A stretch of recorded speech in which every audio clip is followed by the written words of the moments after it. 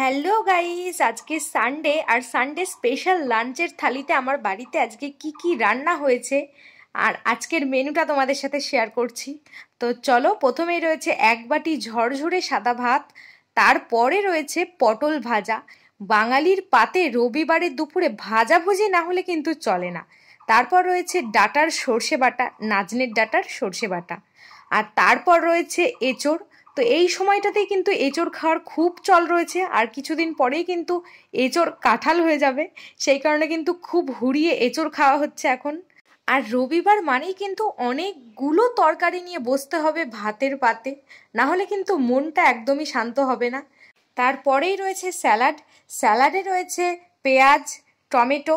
আর যেটা না থাকলে একেবারেই স্যালাড সম্পূর্ণ হবে না, সেটা হচ্ছে শশা আর এখন যা হুড়িয়ে গরম পড়ছে, শশা খাওয়াটা তো কিন্তু স্বাস্থ্যের পক্ষে প্রচণ্ডই ভালো।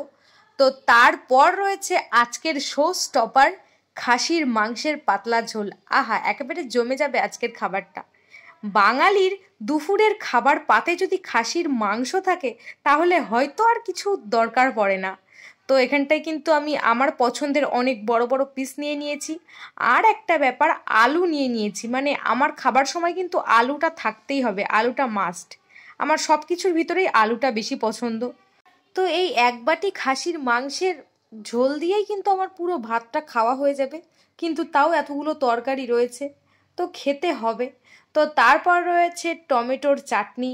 টমেটোর চাটনি কিন্তু আমার ভীষণই প্রিয়। তো শেষ পাতে মিষ্টি মুখ না করলে হয়? তাই জন্য রয়েছে একটা মিষ্টি।